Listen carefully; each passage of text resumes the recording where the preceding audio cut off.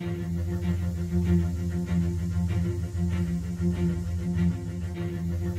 1975, O.A. Bum Phillips became head coach of the Houston Oilers, one of the worst teams in the NFL at that time.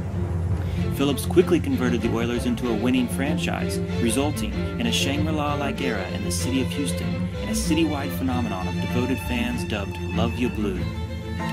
Bum's triumphs came with sacrifices, as his obsessions affected his relationship with his family.